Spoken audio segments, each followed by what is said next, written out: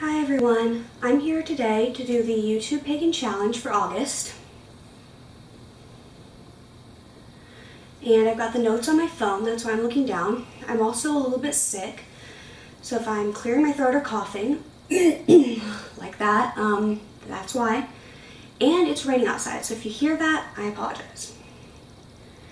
And my notes keep disappearing. Oh, there they are, okay. Um, so this is like the fifth time I've tried to record this, so, and it's really hot in here. Um, okay, number 32, meditation techniques. So I think there's two main types of meditation. There's active and passive. Active is where you're like moving while you're doing meditation. Say walking, pacing, um, coloring, swimming, maybe even like gardening. I've sort of done that before, but you sort of have like meditative mindset. For me, I find that a little bit harder. Passive is more what most people think of when they think of meditation. Sitting, laying down, closing your eyes, clearing your mind, um, going into meditation that way. That's what I usually do, almost always actually. Uh, I like to listen to music when I do that on my earbuds, on my phone. Um, I have digitally downloaded from iTunes this CD called The 99 Most Essential Gregorian Chants. And as the name says, it's like Gregorian chanting music, which may sound kind of weird for most people probably, but it's um, it's kind of mellow and like I listen to it real quiet and it's um, very relaxing for me. It really helps me get into a real deep meditative state. And I know some people when they meditate listen, I mean, yeah, listen to um, like guided visualizations or meditations. And for me, those are those don't work as well because those they tell you to like visualize a meadow or visualize this, and you're walking down a path and all this, and that's all well and good, but when I meditate on my own, I don't see things like that. I don't see um, like a movie type thing in my head, like places, um, things like that, people, whatever. I see like swirls of color or like, I don't want to say clouds because that makes it sound like I'm seeing a sky of clouds, but like sort of like puffs of smoke or like cloudy things in a background of color, like at, real abstract. It's not it's not at all like a scene. So with the guided visualizations, I can imagine it to a point, but then when they say, but then they're like, and now all of a sudden you see your goddess figure, and I'm like, well, I don't know what to picture now, you know, because like I, I don't get into the meditative state that way. I'm like just awake and visualizing it, and then I'm like, okay, well now what am I supposed to be visualizing? I don't know. So that doesn't work for me. Okay, 33, gardening and foraging tips. So I've been gardening with like my mom pretty much since I was little and um, pretty much as long as I can remember. And um, so then when I got a little older, I was allowed to have my own little garden patch and then when I like got real sick with my chronic illness, I had to stop for a long time and then recently I've started back up with a small garden and some pots like last year I started back up with some pots and then this year I started my like little bitty in-ground garden and then still some pots and I'm enjoying it. So I wrote down some tips. So I'm going to be like looking down at my phone because I don't want to forget anything because some of these I think are pretty important to mention. So like the first one is get some good books or reputable websites um, to get good information, to know things like um, how much sunlight, how much water each specific plant needs because all plants have different needs, just like, I don't know, different people or something. Um, figure out what zone you're in. I, for example, I'm in, I believe it's zone 8B. Maybe it's 8A. I'm pretty sure it's 8B. Um, because that helps you know what weather and um, conditions your climate has so that you know when to plant plants, when to plant what plant, and um, things like that. What plants are good in your area, things like that. Um, I like to try to plant uh, companion, do companion planting, which means planting plants together that are beneficial to each other rather than just planting like a bunch of cucumbers together and a bunch of this together and a bunch of A together and a bunch of X together and stuff. It'd be planting like interspersing certain plants together that are um, that like A helps ward off the plant the pest from B and B helps ward off the pest from A. So you plant them together, things like that. Um, I like to stay as organic as possible, stay away from chemicals and things because I don't want to spray my vegetables with a bunch of chemicals and then have the chemicals soak into the vegetables and then eat them. Um, I like to try to plant flowers among my edibles. Sorry, I'm gonna change positions here. Um, to attract, they're pretty, but to attract the pollinators and for the companion planting reason. Some, like marigolds, are really good for companion planting with a lot of vegetables. But they attract pollinators like bees and butterflies to help pollinate your uh, vegetables and everything. And um, there's a lot of good gardening channels on YouTube actually, like um, I'll leave them down below, but MIgardener's a good one. CaliKim29, that's one I watch. There's some other ones. Um, there's one, her name's Vivi. She doesn't do a whole lot of like tips, but she shows you around and she's done some kitchen video tips and like how-tos, but not everything on her channel is how-tos. Um, but I can't remember the name of her channel, but I will link it down below. or at least put the name if I can't figure out how to link it. So for foraging tips, the number one thing I can recommend is never, ever, ever eat anything if you're not 100%, and I mean 100%, not 99.9, 100% sure what it is. Because you could kill yourself, and I'm, I, am i am serious about that. You could literally kill yourself eating something you don't know what it is. By, you could poison yourself, you know?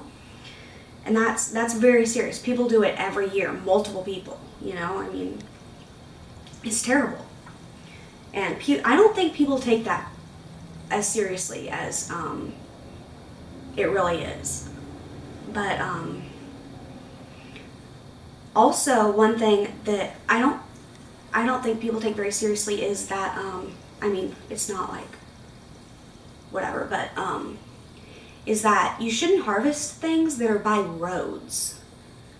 Um, I think the rule, I mean, it's not like a law, of course, but the rule is like 50 to 100 feet of a road, you should not harvest within that area. You need to go farther than 50 to 100 feet within a road because of the pollution within the cars uh, gets into the plants and then you're you don't want to consume that or even if it's like sage and you're going to burn it then you'll the pollution in the sage is there and you'll burn it into the air and then you'll breathe it in um, stuff like that or drink it in teas or anything. You don't want to consume those pollutants.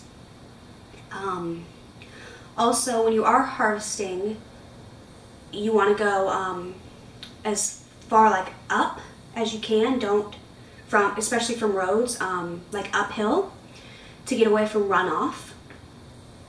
Um, let's see. I think I put something else that I that's not something I just automatically remember. Oh, right. I always, like, I think about this one when I'm, like, out, but I don't remember it just when I'm talking about stuff. Um, is that you always want to just take what you need. Don't take excess. And a good, I think it comes from, like, the Native Americans. I'm not positive about that. But, um, like, a rule of thumb is to only take one-third of what is naturally growing. You don't want to um, over-harvest because you'll wipe the population, population of the uh, plant out. And it won't be able to grow back. And one thing I personally like to do, and I know a lot of pagans, Wiccans, people of that, spiritual people in general like to do is to ask the plant before harvesting. Like, you know, is it okay if I pick you or, you know, harvest from you? And then leave some kind of offering such as water, cornmeal, um, I don't know. A lot of people leave different things. Some people might leave like a, like seeds, um, different things. So that was a long answer for that one. I realized that. Um, 34.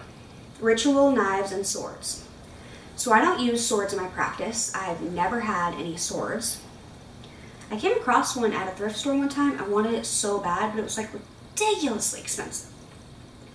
Anyway, I do have a couple knives. I think I've showed one or two of them in like hauls before, like way back on my channel.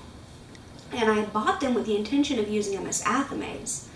But I ended up using them a few times and they ended up feeling way too long. Like, um, I'm a pretty small person in general. Like, I'm not super thin, especially right now, but, um, like, I'm very small boned, like, um, petite, I guess. And so, and short and everything. And so, like, the knives were just so long, I felt like they were just like overwhelmed. I felt like I was almost holding like a miniature sword, which just, it just, it just didn't feel right at all. And so, um, I don't know. So for a long, for quite a while, I was really wanting to find like the perfect athame that was like much smaller, like something like a six or seven inch blade. And even seven inch, I felt like that might be too long. I'm not really sure. Or like, I, I don't know. Um, well, like if the blade was seven inch, that would be too big. But maybe like a six inch blade or something. I really don't know. I'm not good at visualizing how big that is just in my head. Anyway, um, and I looked online and I would look when I went places and I just, sorry, I think I heard the phone ringing. Yep. And I uh, never could, um, sorry about that. When our answering machine goes off, it goes, you've reached our last name, blah, blah, blah, blah, blah. And I don't exactly want y'all to know who I really am. Or, you know, my full name. um, so what was I saying? Oh yeah, I was really looking for an athame and looking and everything, but then I was like, well, you know, if I'm meant to find one, I'll find it. And I really like, they're meant to, you know, direct energy anyway, and so that's really what most people use them for. And I've really always liked to direct energy with my hands because for the first like, I don't know, like 10 years of my, no more than that, I guess, like 12, 13 years of my practice, I'd never even heard of an athame. Like I didn't even know what that was. I didn't, I'd never heard of it. I didn't know that was a thing. So I just used my hands to direct energy and everything. And so, um, I don't know, that's just very natural to me. And so, I don't know. Now it's just kind of like, well, if I find one that really, I really connect with, I'll use it, I'll get in and um, use it. But if not, that's fine too. Ritual wands and staves. Um, I've never had a staff of any kind. Um, wands, I have three. One of them is like, I don't know if it's two pieces of wood or, well, I guess it'd have to be one that's just carved, but it's like um, spiraled, kind of like people took it and twisted, you know? And then it's got like a crystal on the end and like a, like a pointed um, uh, a quartz and then like a round one on the other end. And I was told when I bought it that it was one of a kind. Come to find out, it's mass produced. And tons of people have the same one. And um, when I bought it, I thought, oh, it looks so unique, it's very cool. But then, like, I never super connected with it. And um, so I don't, I don't really, I've, I've used it a few times, but I don't really use that one. And then I have one that's sort of like a natural stick with like a round, it's a quartz point sort of, but it's like polished. So it's not really a point, but it, but it's sort of like that, you know, it's like elongated in the end. And then that's it, it's just very natural. And then I've got one that is just it's not a Harry Potter one, of course, but it's sort of like that, where it's just like plain wood, and then it's um, carved, but not really intricately. It's got like the handle part. It's got a handle part. I, I should have brought it down to show you. And then it just goes into a tip. but that really is one of a kind. A woman um, at the Renaissance Fair made it, and she had a bunch of different ones like that, and they were just like, um, and it was it's supposed it's not like a toy wand, you know, like people make, and they're like, oh yeah, these are Harry Potter wands or whatever. Um, it was made to be like a real ritual wand. Um, sorry, gosh, I hate being sick. And so that's the one I connect to most. I forget what kind of wood it is. Supposedly it's, um, I forget what kind, but everyone I've asked is like, oh, I've never heard of that. And um, asked about it, and I've looked it up online and like not really found anything. But she said it's blah blah blah kind of wood, and then it's the kind Mer- supposedly Merlin's wand was made of. But then I've looked up like Merlin's wand wood type and like came up with different with like different woods that were not that kind. So I don't I don't know. Okay, 36, right? Yeah, 36. Ritual cups and bowls. I don't really have like a specific ritual bowl. I use bowls, but I don't have like a specific one or anything. As far as cups go, or chalices, I've got a little bitty silver chalice that's like really little. And it's real silver, but it tarnishes ridiculously easy. Like I can just leave it on my altar for like a few days, not even touch it, and I have polished it really nicely.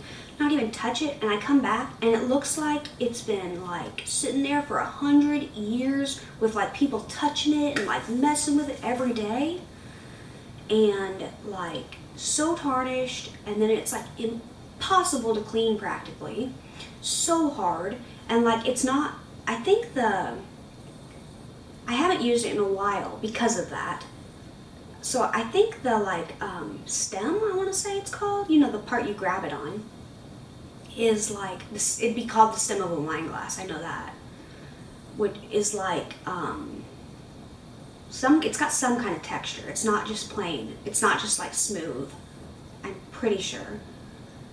I remember I at least I remember that part being hard to clean. And then it's got a pentacle um, in, inscribed in it, um, and that part's hard to clean. Uh, up on the um, cupish part. So it's and then the inside's hard to clean because it's so little, and you can like I can like fit my thumb in there, and it's just it's hard to clean it takes so much silver polish. The silver polish gives me a migraine because it smells bad. It's just, it's awful.